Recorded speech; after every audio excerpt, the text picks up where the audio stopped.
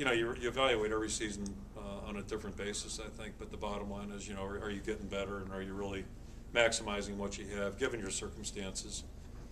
Yeah, and uh, you know, last year was really disappointing. But you know, it's, it's like a lot of things. You know, uh, uh, it's amazing how how close things are, and it's usually not as bad as you think, or not as good as you think. And I go back to 09, our highest ranked team.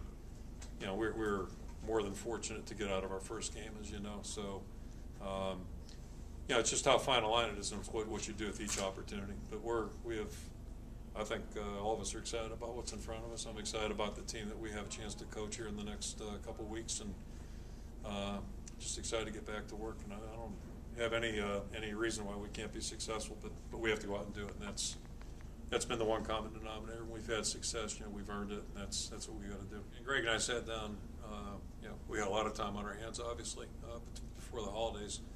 Uh, I sat down with Greg Anfield right after the season, you know, a week after, after everybody had a chance to digest some things. And uh, I think the one thing that, you know, really clear, Greg, Greg has a much better feel for where we're at and who we are right now.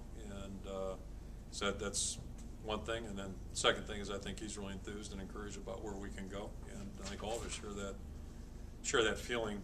Uh, there's some things we have to do to supplement and, and uh, uh, you know, give ourselves a little bit better chance. And we've had a chance the last you know, week and a half to start going through cut-ups and going through our tapes. And uh, I think it's kind of that way on both sides of the ball right now. I think we see a lot of room for improvement, potential for improvement. And uh, to Mike's point earlier, you know, it's, it's uh, you know, a lot of this is stuff that we can just do better, you know, and that's what we need to do. That's really the challenge. But uh, we're still very much open to, to looking at some new things and trying some new things, and we do that every year. But I think, you know, when you win four games, one thing about it, I mean, there's ownership there. You know, we all you know, we can't, uh, you know, play here, play there. Yeah. So two plays with big difference.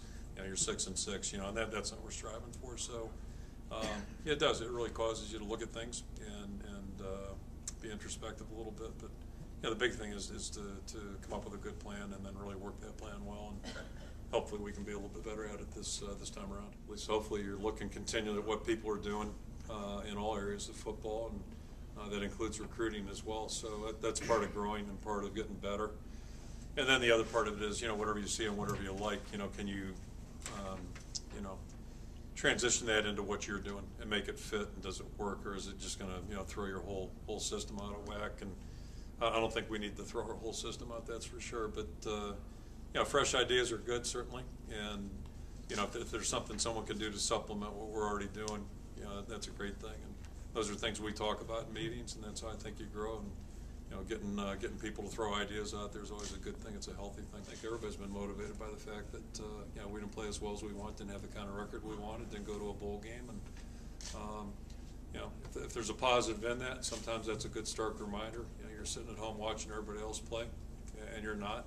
And uh, so I think the the energy, the vibe I've sensed from our players and our leaders has been really good. And had a chance to meet with those guys again this week, the leaders, um, midweek this week, and yeah, they're a very positive group, and I think they're really they've all taken ownership and they're doing a great job of uh, sharing their vision with their teammates too, which is it's really encouraging. It's how you deal with things. You, know, you can sit around and you know make excuses, or you can sit around and you know think of reasons why things didn't go well, or you can do something about it. And I think everybody's attitude right now is, hey, let's let's move forward here, let's push ahead and see what we can do with this next opportunity.